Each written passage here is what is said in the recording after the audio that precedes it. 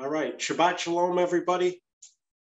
Um, I trust everyone's doing well. Uh, thank you for coming back to today to Ephraim International Ministries. And we will continue with where we left off uh, with the mark of the beast. And um, let's open up with prayer. Heavenly Father, Lord God, we praise you. Father, we thank you each and every day for all, all the things that you give us. We thank you uh, for the, the Christ and that perfect sacrifice. We thank you for the Ruach HaKodesh. And we thank you, Father, uh, also for one another, for giving us brothers and sisters of like mind and like faith. And uh, that's a wonderful gift.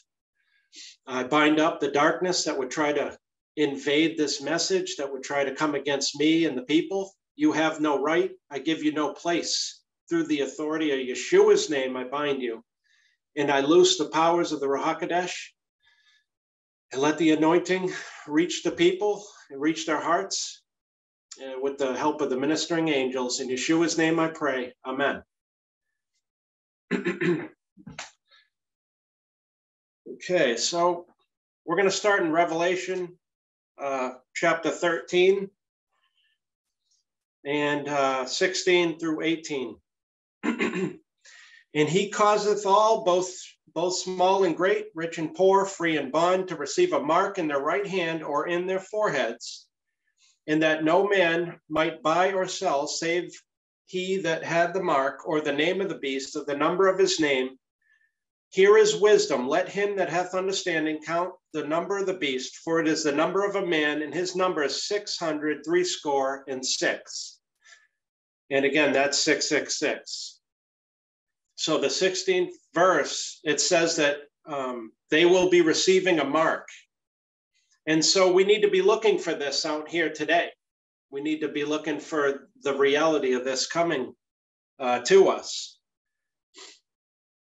And we need to, to, to be alert.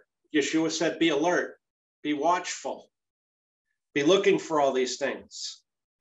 And we can certainly see with what's happening out, uh, out here uh, with all the confusion and a lot of the, and, and with all the changes, we know that something is happening around us.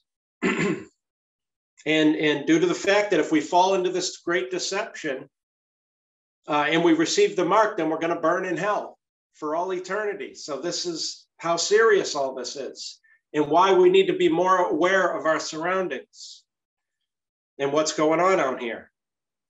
So why isn't the church warning their uh, the churchgoers about these things? Why are they being silent on this message? How come we're not hearing from any of them on TV?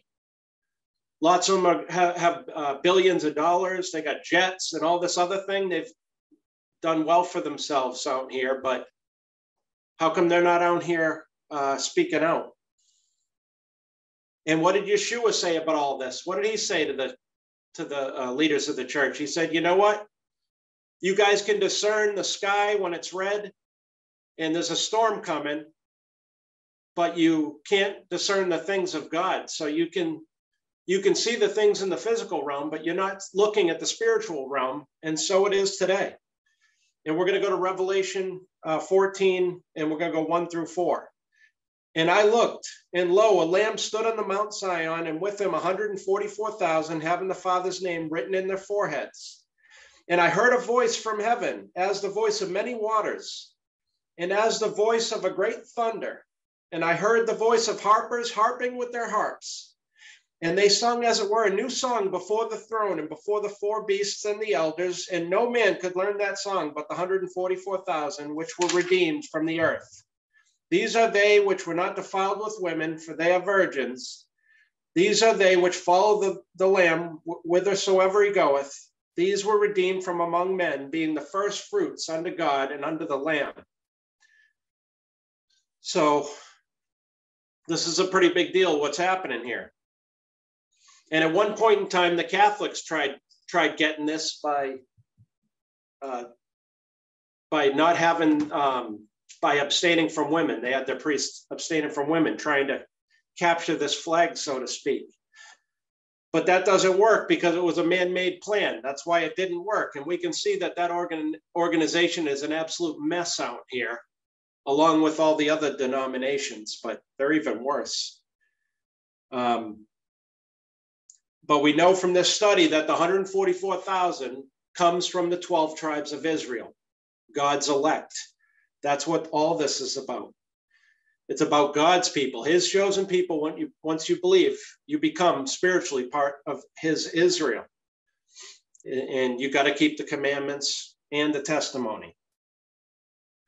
but the but what we need to look at is that these are the ones that were redeemed from the earth. They were not defiled with women and they follow the Lamb with, whithersoever he goeth.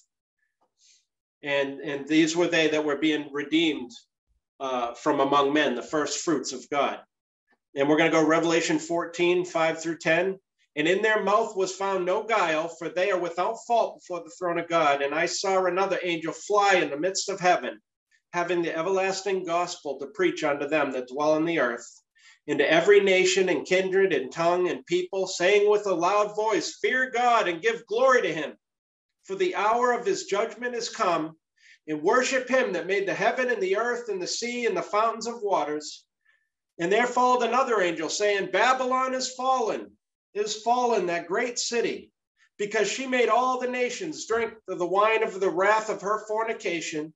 And the third angel followed them, saying with a loud voice, If any man worship the beast in his image and receive his mark in his forehead or in his hand, the same shall drink of the wine of the wrath of God, which is poured out without mixture into the cup of his indignation. And he shall be tormented with fire and brimstone in the presence of the holy angels and in the presence of the Lamb. And so now we've gone from serious to ex- extremely serious here. So there's no room. There's no other direction. There's no other side of the road for us to take. And Yeshua said the way is narrow. And so the time is coming when we will all have to make a choice whether or not we're going to receive this mark or not. And at this time, when this comes on the face of this earth, it's going to be the most unpopular un, uh, thing to say that you believe in Yeshua that you're following him and you're fo- following Jehovah or Yahweh, all right, that you're following the, the ways of this Bible. They're going to shun that. And people are going to be put to death at this time because they're claiming these things. And this is where the, all this is going. All this stuff that we're seeing here today, God's just getting everything moved into position. Okay. And He's trying to get our attention out here with the things that are happening. And he's saying, Come to me. Please come to me, people. And people will, be saying that God doesn't exist because if he did, he would never do things like that.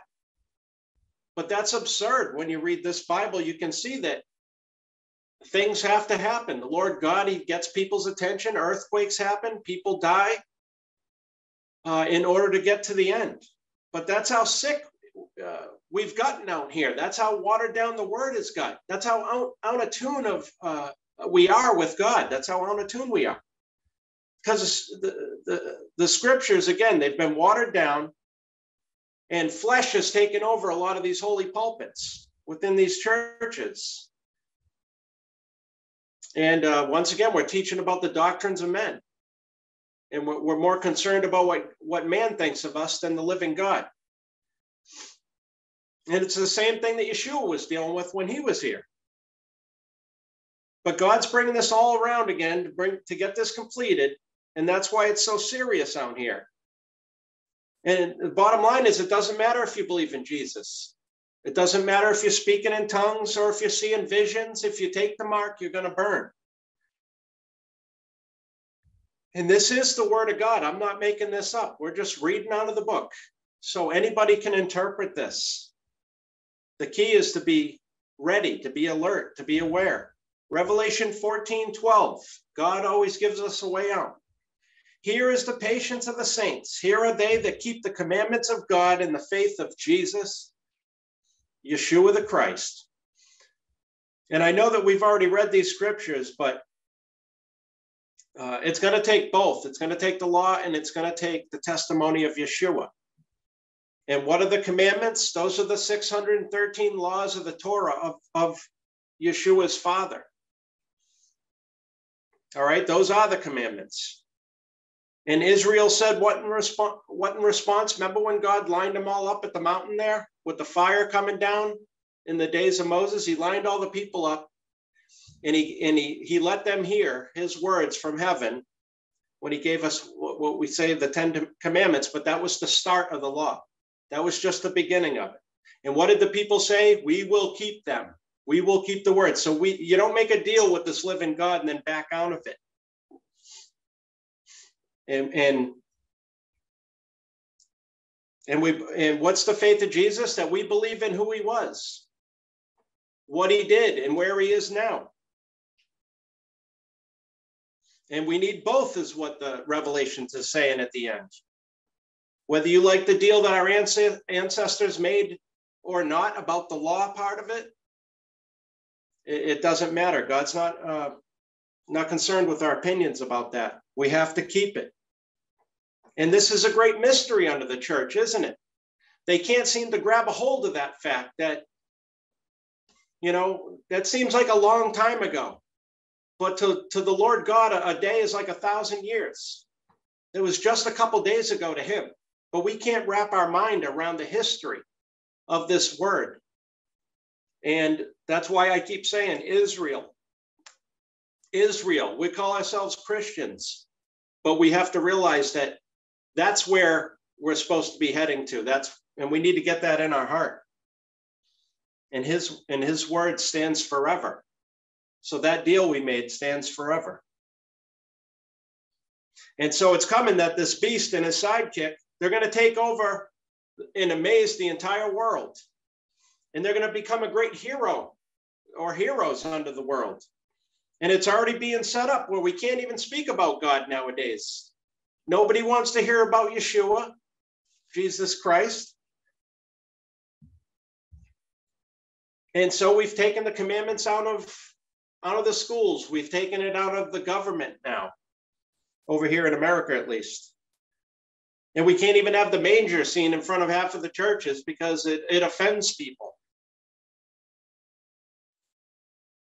And this is all because of a lack of leadership from the pastors within the churches. God set it up where the churches are, are supposed to be in, in charge, not the government, it's the church. That's the way it was supposed to be. And because of this lack of authority and um, the lack of the Holy Ghost, the authority of the Holy Ghost, that's why we are where we at. That's why it's deteriorated uh, to this point and why we keep falling further and further away from the truth. And the time is coming when the, popul- the popularity of darkness is going to be so great out here and we can see it we can see it now we can see it in people's appearances it's, it's becoming harsher and harsher. We can see it in the TV shows and, and on the commercials. I get physically sick from seeing some of these commercials, and they're pushing it upon you.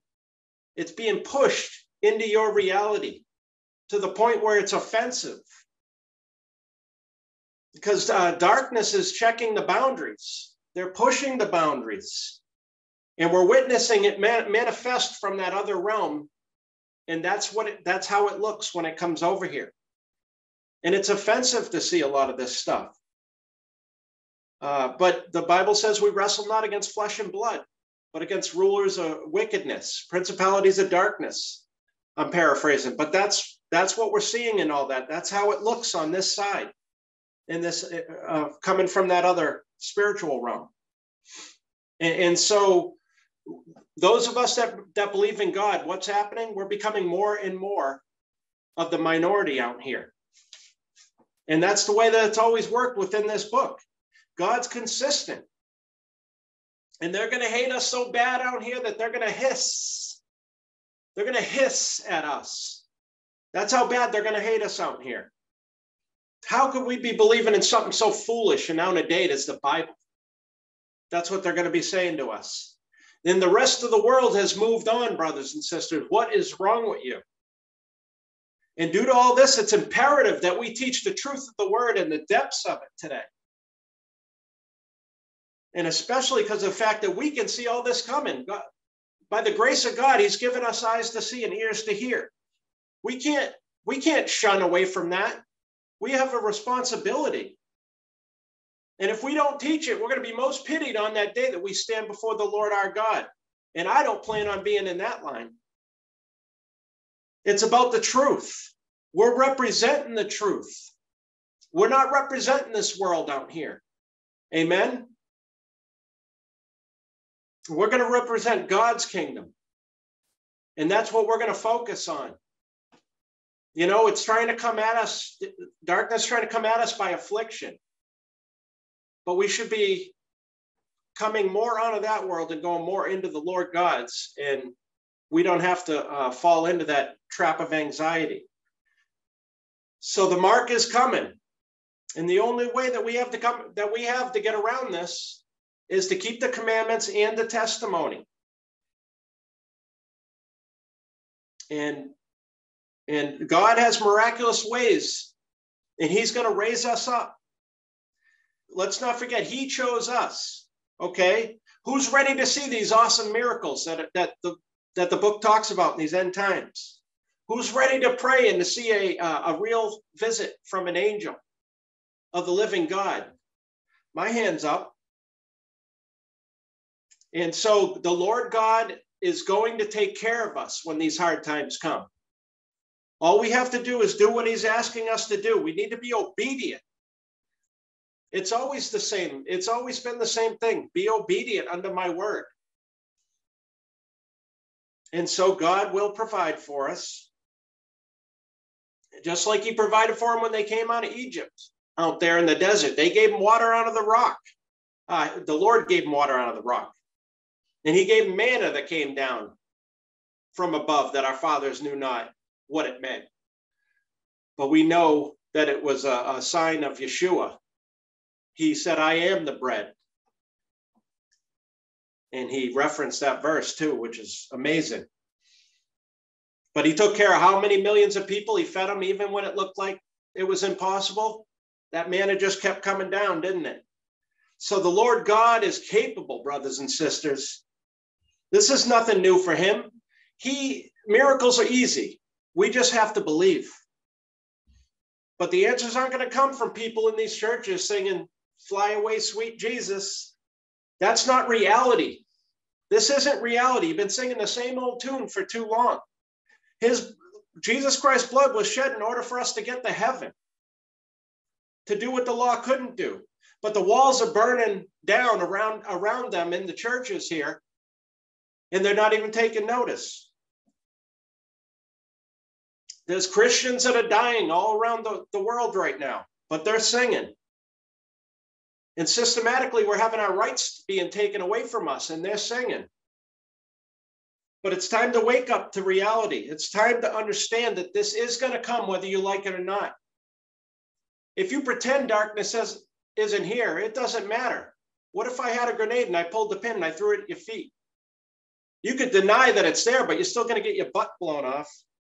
It's the same way. So we need the law and the testimony. And I'm just going to keep repeating this over and over. That's been the thing that we've been hammering is the deception, the law, and the testimony. And on one side, we got the Jews that are going to take the mark because they don't know Yeshua. And we've got the Christians on the other side are going to be taking it because they've gotten away from the Father and his law. And so we can see how the Lord God split his family right down the middle. But this is why we need to unite. And that's what this book is going to do. That's what the word says. We are going to unite with our brothers, the Jews and the Christians. We're going to be coming together. And this is the best, best prophetic word that you're going to receive in this day and in this hour. That you got to keep new moon, keep the festivals, keep the Saturday, Friday night to Saturday night Sabbath. This is the only way that we're going to make it when it gets really hard, and it's coming. And if you are new here to Ephraim, then you need to contact us or try to find the um, transition to the church message, because that is that'll change your life. But it isn't about the different denominations that out here. It's about becoming children of the Almighty God above, which Israel is his elect. We don't need to be different, which only causes division. Division. What we need, need is we need to be the same in here. We need to come together. A people searching together as a flock, going for the truth, bringing more into that flock. Not the flock going three different ways or swinging out and coming back around. No, we're all in this together. We're working together. And it's about our Father, it's not about us. And that's the way that it's going to work. The only banner that we need over our door says Israel, as far as I'm concerned. And of course, Yahweh. I put that on there. But we've been conformed into many different religions out here. That's what's happened with the denominations division, division, believe in all different things, yet we got one book. We got one God. Yeshua said, I am, me and my Father are one. So confusion has come in, the adversaries come in, and we got to stop denying it. We got to stop denying reality. We got to come back to the truth. And I did, I'll mention something real quick. Uh, back in 2019, I believe, there was a, a world teleconference uh, from all the uh, cell phone companies. Uh, I believe it was in Singapore. And they had all the, that's where they come out with their new technology and, and where they're going and all that. And they had a stage set up with a bunch of people there. And what did they do? They had a guy come on the stage they had somebody come over with tattoos, this younger woman with uh, piercings and all that, and she put a, a chip in his hand right here. And what did they do right after they put in a chip right in front of everybody? Then they brought out a laptop and they scanned it, and he did a bank transaction and they showed it live. And the event was DJ'd by an atheist pastor an atheist pastor from some church out there. And that's where this is going. Isn't that odd that they'd have it DJ'd by a, a, an atheist pastor? It's unbelievable. But that's where it's going. That's where darkness has taken us. It keeps pushing a little, pulling back, pushing a little. And I saw that with my own eyes.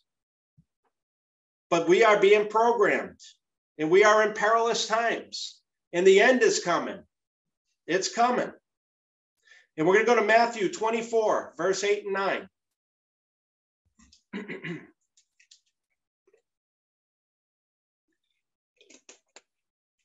All these are the beginning of sorrows. Then shall they deliver you up to be afflicted and shall kill you, and you shall be hated of all nations for my name's sake. So we need to pl- we need to tie this scripture into what we were talking about because our mentor said that this is the only way that this verse ties into everything with this end times in regards to the mark of the beast. So after these sorrows and catastrophes, which we are now witnessing, okay, and then the bird flu, of course, on the heels of this, verse 9 says, Then shall they deliver you up to be afflicted, and they shall kill you, and you shall be hated of all, na- all nations for my namesake. And so, why do they hate us so bad? Because we all choose to be adversaries of the ruler of this world, the adversary. We're going to be directly against it. This should start starting to be looking offensive to you if it hasn't already. It disgusts me to see the things that are being pushed, especially in these commercials to our kids. There's so many subliminal messages being zapped into there. It's it's disgusting. But we have to we have to choose to be different from this world. We have to choose to come out. Let go of that. That is the past says the lord. Because that's what his word says. It's we're changing. It's going to change and we're going to be we're going to be talked about as being outdated because we're going to be standing in the way of this new antichrist movement and they're not going to let us do that we're going to be a huge threat unto them. And so, what will they do? They are going to eliminate us. That's what's going to happen. And so this talks about a precise time being given to us in the scriptures here, Yeshua. And Matthew 24 10. And then shall many be offended and shall betray one another and shall hate one another. And now this verse makes sense because of the mark of the beast. That's why that's going to happen. And what else is going to happen? They're going to outlaw Christianity. And they're also going to have to do away with Judaism. Why? Because this is a one world religion that's coming. And what does that look like? Well, that Buddha, the Hindu gods, the China gods, or whatever, all the other gods are all going to be the same as our God. That's what they're going to tell us. Just, just like the way they're selling us, uh, and they're forcing us to buy these uh, inoculations right now, is the same way they're going to be pushing us to buy this crap that's coming. And, he, and our mentor said he wasn't sure if the United Nations was behind this. And if it isn't, then that's going to be disbanded and broken up. But when America went into that Iraq war, he said that was a huge turning point. That was the point that we are no longer going to be a superpower.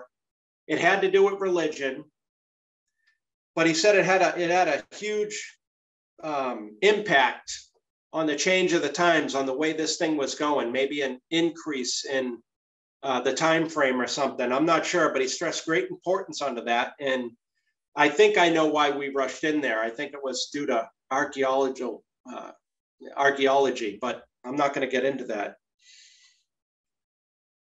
But they will soon be changing all the laws out here, and we're seeing that with the mandates out here. We're already getting, you know, they're they're pushing the boundaries, testing it over here, testing it over there. Some countries worse than the others but they're getting us ready. All right. And where's the parallelization? Well, we can remember back in uh, 300 AD or 330 AD when Constantine's mom uh, got Constantine to, to, to, to um, separate the Jews from the Christians, where the Christians were keeping the law. They were being taught that by the apostles in the book of Acts. And it clearly states it in there.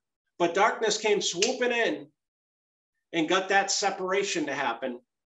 And so that's going to happen again. They know that they succeeded that time. That's what they're coming here to do. And then the apostles left the scene and and and and it's it quickly happened. And nobody out here in the church has even figured out that those are the historical facts. You can look it up on your phone. But now we say and we teach over here that we don't need to keep the laws of, of our Father in heaven, of whom, our, of whom our ancestors made the deal with him. Yes, we will do all that you say. The same Father that Yeshua had. And Yeshua said that he sent me here. And he said, I came here to find my lost sheep, the lost sheep of the house of Israel. But we think we don't need to keep that. And that's when it all got divided. And Yeshua said, A house divided shall fall. And the church is still falling. And now we have all these different sects down here. And it's real easy to see how that worked out with 2,300 different sects of Christianity, or there's more, it doesn't matter. There's too many of them. And we, uh, uh, we have separated ourselves from one another as brothers and sisters of whom we were told to love one another by Yeshua the Christ. But we can't even do that. And so we can't be strengthened because we're moving further and further out. Like when you drop a, a rock into a quiet pond, you know, you got to go back to the root in order to figure out what really happened. Why, why do we have all this confusion and the waves just keep going out? But God is bringing this all back together